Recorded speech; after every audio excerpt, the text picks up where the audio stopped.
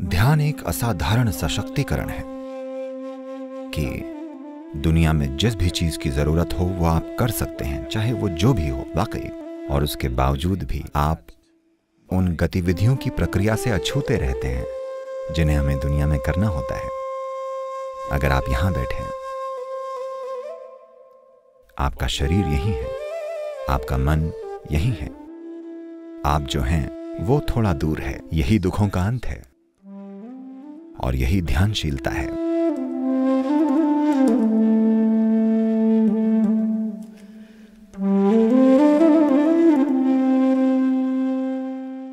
नमस्कारम।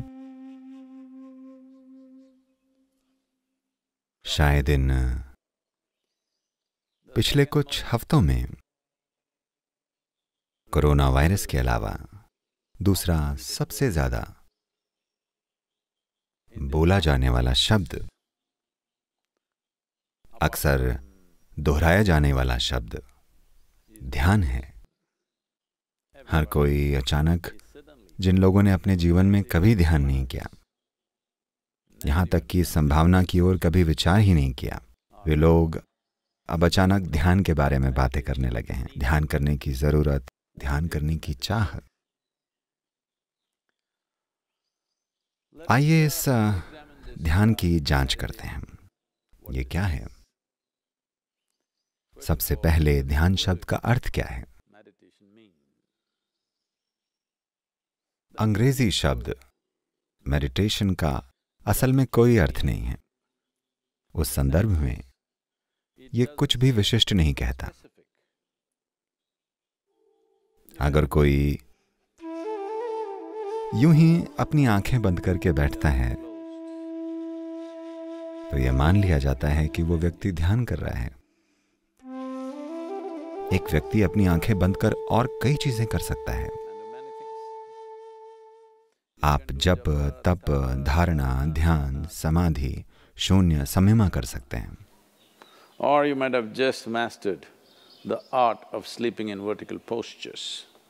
या शायद आपने सीधे बैठकर सोने की कला पर महारत हासिल कर ली हो। तो अंग्रेज़ी शब्द में मेडिटेशन शब्द कुछ भी विशेष नहीं बताता।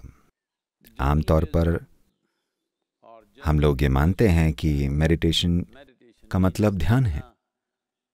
तमिलनाडु में ये ध्यानम है। अगर आप थोड़ा उत्तर की ओर जाते हैं तो ये ध्याना है। अगर आप और ऊपर उत्तर की तरफ़ जाएँ तो ये ध्यान है। अगर आप और ऊपर जाते हैं तो ये चाँद बन जाता है। अगर आप थोड़ा और पूर्व की ओर जाते हैं तो ये जैन बन जाता है। वही चीज़। तो what is this dimension that we are trying to describe with this word meditation? हम इस ध्यान शब्द के साथ क्या बताने की कोशिश कर रहे हैं? एक मूलभूत चीज़ जिसे हमें समझने की ज़रूरत है वो ये है कि आप ध्यान नहीं कर सकते। क्योंकि ध्यान एक गुण है। कोई गुण एक निश्चित प्रक्रिया का परिणाम होता है। आप एक प्रक्रिया शुरू कर सकते हैं। आप एक प्रक्रिया संचालित कर सकते हैं। आप किसी गुण का संचालन नहीं कर सकते। गुण बस एक परिणाम है। ये इस तरह है कि जैसे आप अपने बगीचे में फूल चाहते हैं। आप वहाँ बैठकर फूल ध्यान नहीं करते। आपको पता है फूल वालों के साथ क्या हुआ? अगर आप अपने बगीचे में फूल चाहते हैं तो आपको फूलों के बारे में सोचने की ज़रूरत नहीं है। आपको मिट्टी खाद पानी धूप के बारे में सोचना है। If you conduct this process of these ingredients properly, अगर आप इन प्रक्रियाओं का संचालन ठीक से करते हैं तो फूल और फल एक परिणाम होंगे। लेकिन आज दुनिया बहुत लक्ष्य उन्मुखी हो गई है। क्योंकि लोग इतने लक्ष्य उन्मुखी हैं इसलिए मिट्टी में उनकी रुचि नहीं है। Definitely not interested in the manure and all the other things. और खाद और दूसरी चीज़ों में तो निश्चित रूप से नहीं पर उन्हें फूल और फल चाहिए। अगर आप मिट्टी, खाद, पानी और धूप के बिना फूल चाहते हैं तो आपको प्लास्टिक के फूलों से समझौता करना पड़ेगा। प्लास्टिक के फूल बढ़िया होते हैं, जो लोग उपयोगिता के बारे में सोचते हैं। ये कई अलग अलग तरीकों से आपके काम आते हैं। ये पाँच साल की गारंटी के साथ आते हैं। फूल एक झंझट है।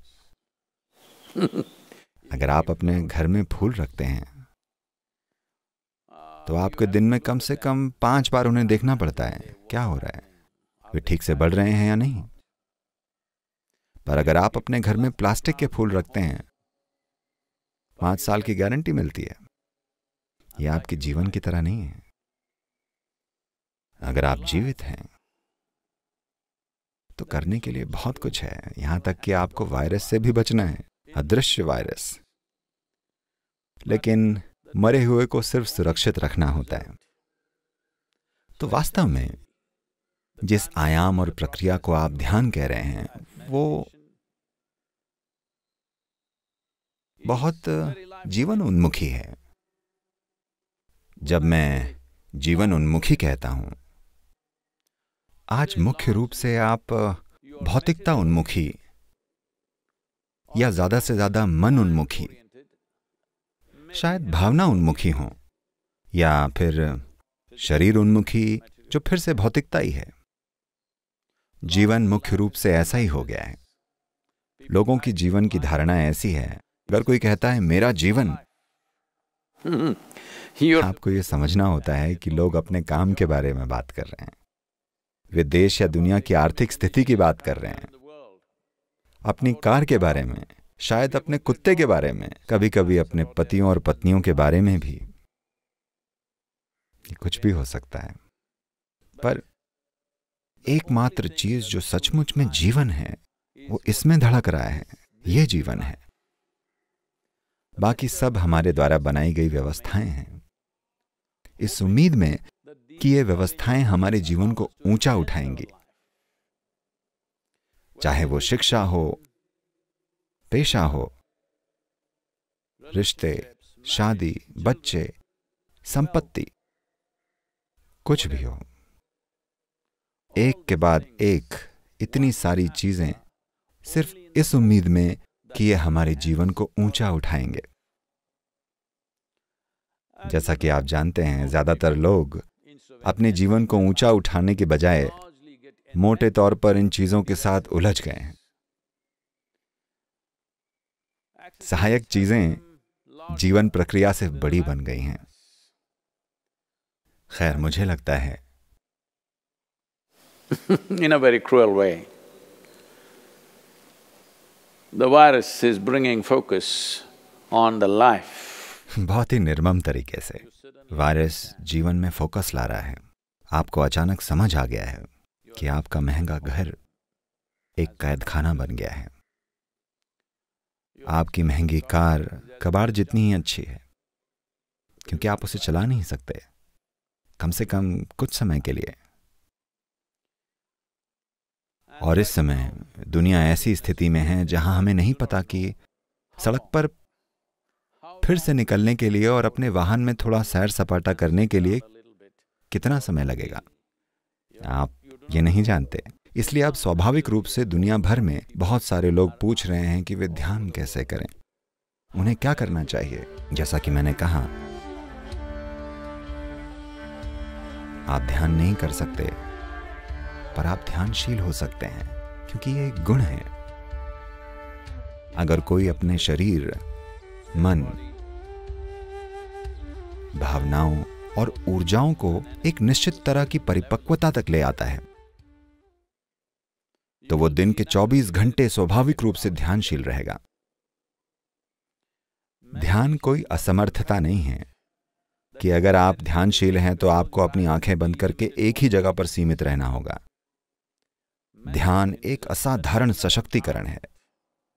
कि दुनिया में जिसकी भी ज़रूरत है, आप वो कर सकते हैं। चाहे वो कुछ भी हो, वाकई, और उसके बावजूद भी आप उन गतिविधियों की प्रक्रिया से अछूते रहते हैं, जिन्हें हमें दुनिया में करना होता है। ये सशक्तिकरण या इस सशक्तिकरण के बिना दरअसल मनुष्य अपंग है, क्योंकि दुनिया में आपको जो सोचना, महसूस करना, समझना और क्रियाकलाप करना है, अगर ये सब आपको इतने बड़े तरीके से रगड़ने वाला है तो स्वाभाविक रूप से आप उसे करने में झिझकेंगे ही। स्वाभाविक रूप से आप उन चीज़ों को करने से बचेंगे जिन्हें किए जाने की ज़रूरत है। एक तरह से, जिस पल आप ऐसी अवस्था में होते हैं जहाँ आपकी अपनी गतिविधि और आपके चारों ओर संसार की गतिविधि और आपके मन की गतिविधि और आपकी भावनाएँ, जब वे आपके जीवन के हर पल में आपको प्रभावित करने लगती हैं तब किसी तरह आप खुद को अपंग बना लेते हैं, क्योंकि स्वाभाविक रूप से आप अपने जीवन के स्तर को बहुत सीमित रखना चाहेंगे, क्योंकि क्रियाकलाप, विचार, भावनाएँ जीवन के साथ जुड़ाव भारी मात्रा में दुख पैदा कर सकता है। एक बार जब जाने अनजाने में दुख का भय होगा, तब आप जीवन के दायरे और संभावनाओं को सीमित कर देंगे। ध्यान का अर्थ बस यही है। अगर आप इसे बहुत ही सरल तरीके से समझें, अगर आप यहाँ बैठें, आपका शरीर यहाँ है, आपका मन यहाँ है, आप जो हैं, वो भौतिक शरीर और मानसिक ढेर के इन दो आयामों से थोड़ा दूर है। शरीर और मन के ये दो ढेर, अगर आपके और उनके बीच थोड़ा फासला आ जाता है, यही दुखों का अंत है। और यही ध्यानशीलता है।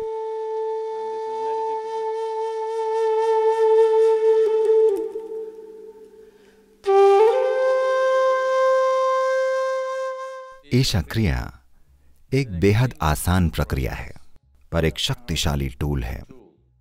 ये तीन सामग्रियाँ, आपकी सांस, आपका विचार और आपकी जागरूकता, अगर आप इन्हें सही मात्रा में इस्तेमाल करें आपकी अपने मन और शरीर को इस्तेमाल करने की क्षमता इतनी ज़्यादा बढ़ जाती है कि आप दूसरों को लगभग महामानव जैसे दिखते हैं।